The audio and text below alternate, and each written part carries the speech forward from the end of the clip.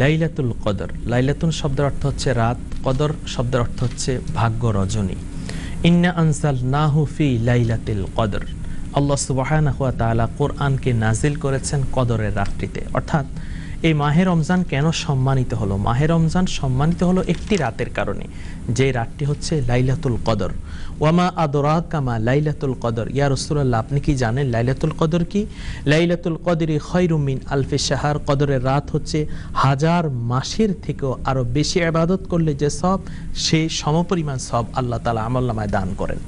রসুল্লাহ সাল্লাহ আলি সাল্লাম মসজিদে নববীতে একদিন তিনি আলোচনা করছিলেন সাহাবিদেরকে উপলক্ষ করে, হে সাহাবিরা যে কথাটি তাফসিরে দুর্ন মনসুরের মধ্যে রয়েছে, তাফসিরে আহমদিয়াতের মধ্যে রয়েছে এবং তাফসিরে কাঞ্জুল ইমানের মধ্যে রয়েছে। বন ইসরায়েলের একজন দরবেশ, নাম হলো সামাউন এক হাজার মাস তিনি দিনের বেলায় রোজা রেখেছেন। রাত্রির বেলায় তিনি কাফেরদের জন্য যুদ্ধ করার অস্ত্র তৈরি করেছেন অথবা কাফিরদের বিরুদ্ধে তিনি জেহাদ করেছেন তাদেরকে ইসলাম ধর্মে আনয়নের জন্য। রসুল্লাহ সাল্লাহ আলি সাল্লাম বললেন, এই যে এক হাজার মাস এবাদত বন্দী করলেন তিরাশি বছর, চার মাস দশ দিন। তার আমল নামা অনেক সব আল্লাহর তিনি অনেক প্রিয় বান্দা। তখন সাহাবাই কারাম বললেন, ইয়া রসুল আল্লাহ আমাদের আমল নামাকে আল্লাহ সে সব দান করবেন না? তখন আল্লাহ রসুল সাল্লাহ সাল্লাম চুপ ছিলেন আর হজরত জিবরাল আলি সাল্লাম নাজিল করলেন পবিত্র কোরআনুল কারিমের সুরা লাইলাতুল কদর। লাইলাতুল কদরি খৈরুম মিন আলফিস শাহার। এই কদরের রাত্রিতে আল্লাহ সুবাহানা তালা বরকতময় করেন, তানাজ্জালুল মালাইকাত রোহ। এই পৃথিবীর মধ্যে আল্লাহর রহমতের ফেরেস্তারা নাজিল হন, এমনকি হজরত জিব্রাইল আলি সাল্লামও নাজিল হন। এই লাইলাতুল কদর কোন রাত? একুশ, তেইশ, পঁচিশ, সাতাশ উনত্রিশ এই পাঁচটি রাত্রিকে বলা হয় লাইলাতুল কদরের রাত। এই যে লাইলাতুল কদর এই লাইলাতুল কদর আমরা কীভাবে তালাশ করতে পারি? লাইলাতুল কদর আমরা তালাশ করতে পারি আলাইহি সাল্লাম বলেছেন তাহাররাও লাইলাতুল কদরেল ভিত্রি ফিল আশিল আওয়াখির মিন রমাদান। পাঁচটি পাঁচটি রাত্রিতে বেজোর রাত্রিতে তোমরা লাইলাতুল কদর তালাশ করো। এই লাইলাতুল কদর সেদিন বৃষ্টি স্নাত হবে, অর্থাৎ একটু একটু বৃষ্টি হবে, আকাশটা থাকবে মেঘলা, নদীর পানি সেদিন সুমিষ্ট হবে এবং একটি প্রবাহিত বাতাস হবে, যে বাতাসটা থাকবে একটু একটু সুগন্ধিময় এবং সেদিন আল্লাহর একটা রহমতের আবহ থাকবে সেই লাইলাতুল কদরের রাত্রিতে। লাইলাতুল কদর কি সবাই পাবে? লাইলাতুল কদর সবাই পাবে না। আল্লাহ সুবাহানা তাআলা যাদেরকে কবুল করবেন, তারাই লাইলাতুল কদর পাবে। আর লাইলাতুল কদর নিয়ে কিন্তু একটা ব্যাখ্যা রয়েছে। ইমাম আজম আবু হানিফা রহমতুল্লাহ আলাই তিনি একটি ব্যাখ্যা দিয়েছেন বিশ্ববাসীদের উদ্দেশ্যে, ইন্না আংজাল নাহুফি লাইলাতুল কদর ওয়ামা আদরা কামা লাইলাতুল কদর।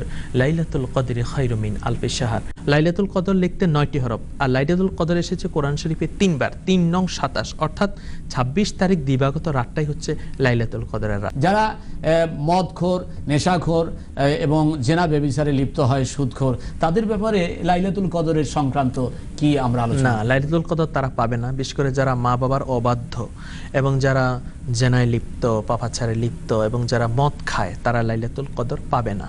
আর লাইলাতুল কদর যারা পাবে রাসুল্লাহ সাল্লাহ আলী ওয়াসাল্লামকে হজরত আয়সা সিদ্দিকা রাদিল্লা তালানহা বলেছেন যে সেই রাত্রে আমি কোন দোয়া পড়ব? তখন আল্লাহ নবী তখন একটি দোয়া শিখিয়ে দিয়েছেন, আল্লাহুম্মা ইন্নাকা আফুবুন তহিব্বুল আফু আফু আন্নি। হে আল্লাহ, নিশ্চয়ই তিনি নিশ্চয়ই তুমি ক্ষমাশীল। তুমি ক্ষমা করাকে পছন্দ করো, তুমি আমাদেরকে ক্ষমা করে দাও। এবং এই লাইলাতুল কদর অনেক বর্জনীয় কাজ কিন্তু আমরা দেখি। এ বিষয়ে কিছু আমরা আলোচনা করতে পারি। লাইলাতে অনেক বর্জনীয় কাজ রয়েছে বিশেষ করে দেখা যায় অনেকে লাইলাতুল কদরের রাত্রিতে ফটকা ফোটা ফোটানো এটা নিষেধ রয়েছে এবং দেখা যায় অনেকে হই হুল্লোড় করে চিল্লা চেঁচামেচি করে এক জায়গায় গিয়ে জড়ো হয় এবং এক জায়গায় বসে সেখানে বিভিন্ন ঢোল তবলা বাজায়। এগুলো ইসলামী নিষেধ। লাইলাতুল কদরে আমরা আর কি কি ইবাদত করতে পারি? লাইলাতুল কদরের রাত যেহেতু আল্লাহ তাআলা উন্মুক্ত করে দিয়েছেন একটি রাত্রে আপনি আবাদত করলে তিরাশি বছর, চার মাস, দশ দিনের আমল নামাজ সব আপনি পেয়ে যাবেন। সেক্ষেত্রে পাঁচটি রাতেই তো লাইলাতুল কদরের রাত। অবশ্যই আমরা যে আমলটি করব সেটা হচ্ছে তাহাজ্জুদের নামাজ এবং আমরা সলাতুত তসবি নামাজ পড়তে পারি, কোরআনুল করিম তেলাওয়াত করতে পারি, জিকির আসকার করতে পারি দুরুজ শরীফ করতে পারি এবং আমরা মিলাদ ক্যাম করতে পারি এবং আল্লাহর কাছে হাত তুলে দোয়া করতে পারি, ওগো আল্লাহ, তুমি আমাদেরকে লাইলাতুল কদর নসিব করো এবং আমাদেরকে তুমি ক্ষমা করো। মাহে রমজান তুমি আমাদের বারবার নসিব করো। এই করোনা ভাইরাসের মহামারী থেকে সারা বিশ্বকে তুমি হেফাজত করো। ধন্যবাদ প্রিয় দর্শক মাওলানা মোজাদ্দিদি সাহেবের কাছে আমরা আ, আরও জানতে চাই যে এই যে লাইলাতুল কদরে আমরা কি দরুদ শরীফ মিলাদ শরীফ এবং জিকির আজগার জোরে বা একটু শব্দ করে মিলাদ ইয়া নবী সালাম আলাইকা ইয়া রসুল্লাহ আল্লাহ সাল্লি আলা এবং কোরআন তেলাওয়াত একটু আমরা করতে পারি কিনা? অবশ্যই করতে পারি। কেননা যেহেতু এটা একটা মহামারী, এই মহামারীর সময় যদি কোরআনুল করিম তেলাবাত করা হয় এবং এই মহামারীর সময় যদি উচ্চস্বরে জিকির করা হয় উচ্চস্বরে যদি মিলা শরীফ পড়া হয় এবং সেখানে যদি হাত তুলে আল্লাহর কাছে দোয়া করা হয়, আল্লাহ অবশ্যই আমাদেরকে ক্ষমা করবেন।